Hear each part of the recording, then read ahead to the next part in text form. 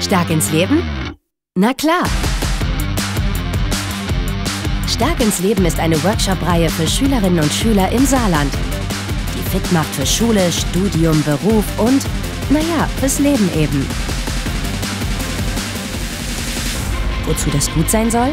Hier bekommst du Antworten von dem Fußball-Bundesligaspieler Jonas Hector, Jörg Wesemüller, Theaterregisseur und Referent bei Stark ins Leben und Schülerinnen und Schülern der Gemeinschaftsschule Saarbrücken-Rastbachtal.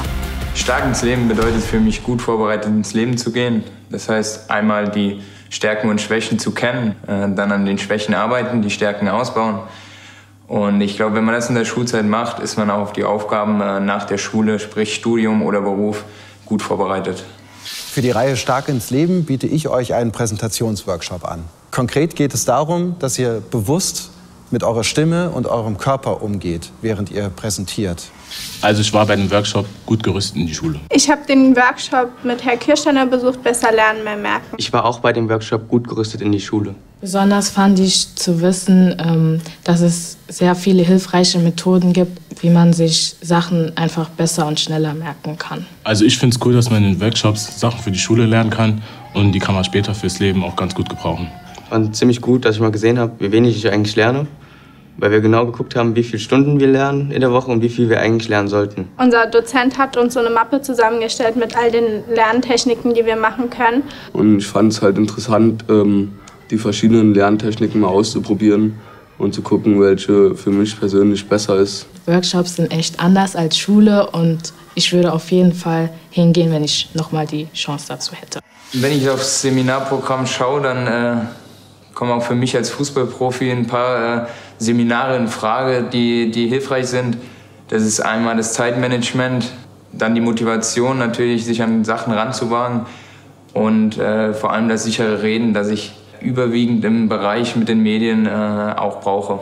Das Training, das ich mit euch mache, biete ich normalerweise in der freien Wirtschaft an. Also das heißt, ich arbeite normalerweise mit Managern, die müssen einen Haufen Geld dafür bezahlen, aber ihr, und das ist der Hammer, bekommt es kostenlos. Und am Anfang waren meine Eltern doch eher mehr begeistert als ich. Ich habe es dann zwar verpasst, mich anzumelden, aber es ging dann trotzdem noch. Ich bin auch denen ihrer Meinung, ich hatte keinen Bock, aber so nachhinein war das also besser, als was ich mir vorgestellt habe.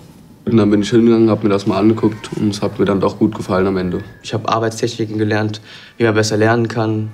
Zum Beispiel Vokabeln lernen, wie man die leichter lernt oder sowas. Das sind Techniken, die ihr lernt, die ihr für viele Situationen gebrauchen könnt, wo ihr euch präsentieren müsst. Wie zum Beispiel in Bewerbungssituationen, also wenn es so eine 1 zu 1 Situation ist, oder wenn ihr vor einer großen Gruppe ein Thema präsentiert.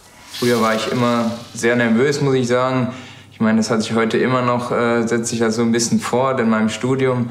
Deswegen wäre das, glaube ich, ein Seminar gewesen, das für mich optimal gewesen wäre, weil ich da eben eine gewisse Selbstsicherheit bekommen hätte. Und äh, gerade im Reden vor den anderen Mitschülern und Mitstudenten ist es, glaube ich, äh, eine gute Übung, beziehungsweise man lernt damit umzugehen.